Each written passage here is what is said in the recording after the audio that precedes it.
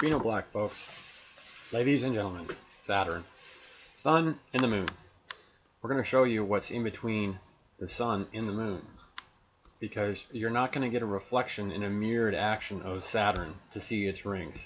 And we basically, from what we've been seeing at worldwide, uh, well, basically at the telescope, at the Canada French telescope from their webcam of the sky, which gives us a great view at 13,800 and some feet. Okay, let's go there now because basically this is to show you that the actual factual, and I'll play. I can we can play here, and we'll go ahead and get like uh, the 29th to come up here eventually. And then we got the 30th.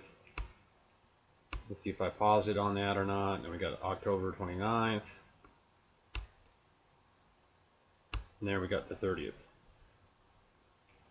And we can go ahead and we'll go look at what we got on the time on the actual shot from over at uh, CFHT Clouds. And we just click on it here. And there we are. We're at Saturn. We're going to come down. And you're going to see basically Saturn is behind the sun. Okay. They're just showing you the position of Saturn. They're not saying that it's in front. And what we have in front of the sun is two different planets basically it's not just one it's two and you can see the rings okay? And the rings are not and you can actually see a moon there. And you can also see some moons here. And basically what the sun is doing is the sun is being a telescope for us up there. Uh, just like you've uh, you can go study telescopes. There's one guy i really apologize because the guy's a really intelligent guy and as far as i know i think he's still kicking. Could be passed away by now, I'm not sure. But he invented that one telescope I showed you a long time ago. I did a video on him. But we have a planet with two rings here. And we have another planet that has a almost looks like a moon or another planet very close to it with a ring around it. Separate ring. As you can see there. And basically I can blow that up for you. As you can see that we realize that we're at this shot. And basically there's Saturn and the sun's coming up. And then we have some of our remnants and I'm also going to show you Meb Mabsuta and some other stuff and some crater impacts and also a shot of I'm shooting right off the video. So basically you have a shadow of this planet here or basically this moon here or planet whatever you want to really call it here. This planet here has got these rings and has these objects there also. And we can blow this up a little bit more because basically we have moons here what I need to do is I need to scoot over so that you can see it. And basically the sun is actually giving us a telescope view of these objects that are in front. Now, you have to back up the video and basically let me make you realize something. This is a separate planet here. Okay, see those rings? And also see that this planet here, even though it's a small planet, it has the same type of ring. This little one right here, this planet here, but basically who knows how its size. It could be huge. But it's definitely smaller than these three planets here that are basically in front of the sun, undoubtedly between the sun and us right here. These three planets right there, no matter what, okay? We've been seeing it before and we thought like, wow, they're crossing each other, but this shows you straight up, and basically this is part of what the certain secret societies, that's why you have the lines on a Pepsi can in the emblem of the Pepsi. Yeah, basically what it is is stuff from outer space. And also the wave that's on the, the Coke can. Yeah, secret societies. Okay. They look at the stars, they see what they see, and it's like, oh, wow, what is that? Well, we just don't know yet, and we ain't going to name it or tell anybody anything what it is. Because actual factual, let's go look at this. Yes, folks, all these objects are out in space, okay? They're all known, they're all categories, and they're all GPS put in, okay? In space, okay? There's our moon, and there's Earth, okay? So when we're looking at the sun, you're seeing exactly that. Because basically Saturn is over there, I believe that's Jupiter, yep. And actually, I don't know who messed with why I was gone because basically I've got all our objects marked. Let's remark them. And here we are. And the Earth and the Moon. And as we go around, we got Jupiter and Saturn. So that when you know, when you look at that shot, that the idea that there is basically, theoretically, we know that it's there's stuff there between us and the Sun. But between Saturn and the Sun, lots of stuff also. But the Sun is in front of Saturn when you go to the camera. So basically all this stuff is between the sun, there's our moon on the backside, and Earth. And we get a nice telescope view of exactly that stuff that's here. Okay? So what we'll do is we'll zoom in because we know that all this stuff's here. Basically, this is the object that pretty much we might as well call that Pepsi because basically, well, we really honestly don't want to call either three of them Pepsi because the idea that they don't have a single stripe. Well, the Pepsi can, when you look at it, I guess basically it's got two stripes, doesn't it? So basically that's Pepsi over there. And as you can see, there's objects that are in its, basically it's got a lot of moons. And these other objects have moons too. They are planets. And basically you can see the three of them right here too. They also are right there. And there should possibly be something back out over there. And the sun basically telescopes all this down to us at 13,800 some odd feet. Now what we're going to do is, as you can see, this is different than this object over here because of the ring shape. All right. And also this one is different because of the ring shape, the rings. You got one, two, a very faint one, three, and another one over here, which is the fourth ring on that one. Or actually the fifth, depending on whether you want to call this a ring or not, this one here. Okay, so let's blow in up on this a little bit more and find our planet in moon belt that's basically on the smaller planet there. And remember, this is all in between. It's all in between the sun and Earth. Because remember, Saturn's behind the sun and you shouldn't be able, you can see at a certain angles in time, you can see Saturn. But otherwise, Saturn is behind. And there you go, we got zoomed in to 800. And here's our planet with a belt of moons around it. And this is this planet here with all of its moon and rings here. And you know it's not Saturn because Saturn doesn't have this many rings. And then this planet here is a separate planet also, and it's got rings. And it's all factual because this is between the sun in us. And you can see the shadow of this.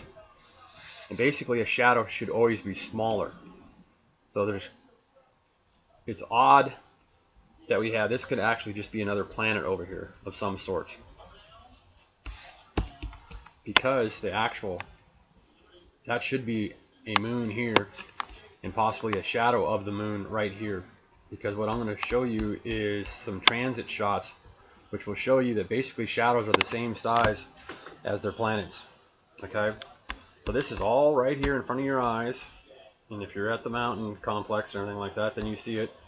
And there's the video and there's basically a telescope shot from a, webcam above on 13,800 feet at the Canadian French telescope. And basically you end up knowing that between the sun and earth there is these three planets that one there which basically i'm calling it pepsi because the idea that it puts off a different it's not just a 3d holograph because you can see that it's not a 3d holograph because you have this one and it has two rings here and in past transits they have been showing that the idea that we would see all these intercrossed so basically there are three planets out there, three objects in space in front of the sun.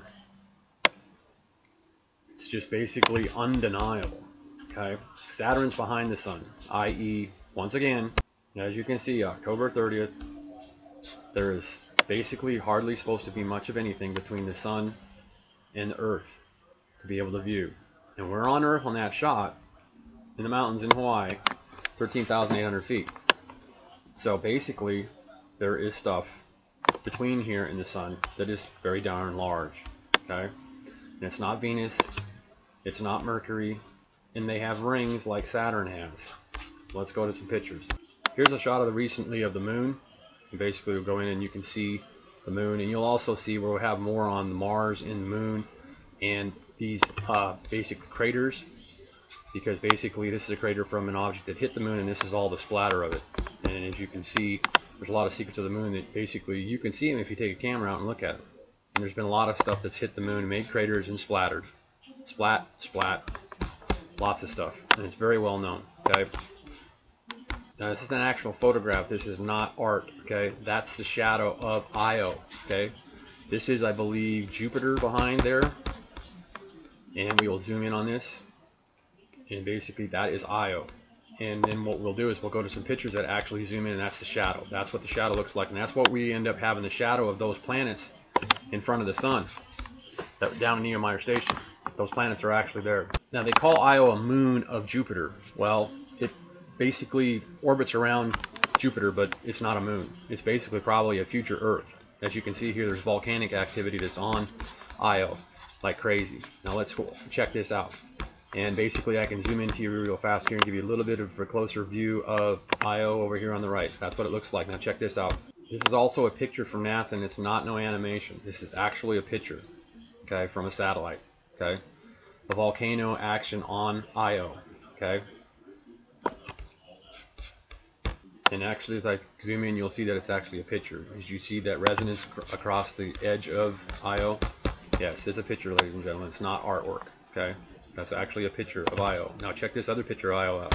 Actually, another satellite shot of Io in the mountains of Io that are basically, basically, uh, I can also show you a weather shot from Io, and I'm going to give you that here in a second. Hang on. But we'll zoom in on this, and this is the mountains of Io. And basically, there's a lot of snow and crust around Io. And the hot areas melt through the ice on Io. Okay? As you can see, yep, a future Earth pretty much, basically. Io is a moon considered of Jupiter, but it's not really a moon. And as you can see here, here's Saturn, okay, and there's Earth, and it, basically there'll be these objects between Earth and the Sun for quite a while, because it's not Saturn, okay? You're not getting a telescope image of, you're getting those actual planets that are between the Sun and Earth right now, okay? And Tolts Oj, Tolts Oj, or how do you want to say it, in Basin, these are the craters, impact craters on Mars and Mars and Mercury. And basically, I just whap out the action, and basically, there's plenty of roll action of objects hitting these planets before, and also Earth, we've been hit by stuff before too. Now, I'm trying to say that basically we will eventually get hit by stuff again, but as far as we know right now, not for quite a while. What's going to happen is her is more than likely going to hit Mars, okay? Basically, you see here Mars here, so we got to watch the impact crater of what where it's going to hit on Mars this time, because more than likely it's going to hit Mars, and that's base ISON basically coming around. And these are satellite images pictured, pasted together, and basically Mercury is basically a moon. Okay, Mercury is the same size as the moon, and basically it really even shouldn't even be called a planet because basically basically what they want to do is they want to keep old school around for a long time. Well, Mercury is actually a flipping moon, and as you see, there's bunches of stuff that's hit Mercury also, and basically you can go back to the data that I just showed you on the craters, and there I had both the craters of, and basically this was taken by the Mariner expedition. Okay. And this is all from NASA, and this is basically actual factual that Mercury pretty much is exactly the same size as the moon and has stuff that's hit it. Just like the moon has has plenty of stuff hit it. And as you can see, you can see the marks from stuff hitting the moon, okay? Over time. And there'll be more objects at the moon, and there'll be more objects at Mercury. And just eventually they'll come around. And like I said, this is just a recent picture of the moon. And basically, as I back out, I can go in really big and you can see that there is stuff on the moon. and then you can also see that there is also splats on the moon everywhere. And basically all the stuff that's on the moon is a bunch of splats from things hitting the moon. Okay, and basically you can see it really good right there. There's a huge crater there that's on the moon. And we'll investigate in the future which crater that is and, and what splat and did all this all over the place, just like a paintball. Okay? Paintball guns, folks, yep. Stuff hits planets. A lot of stuff hits trailing moons. Trailing stuff hits moons. And also remember, Mars is too hot to live on, folks. And actually, see, Mars is too cool to be on, but also it gets flared by the sun. CMEs, gets massive CMEs, with more than likely not, since this doesn't really have much of an atmosphere, it would not be very safe to be on Mars when it gets blasted by the sun like it has recently done. Mars gets too close to the to the uh, sun. Okay? So, forget about living on Mars. It's ridiculous because what we've seen with the CN. And the sun's right here in the middle, and there's nothing between us and, and the sun. Mercury's. But these three planets are.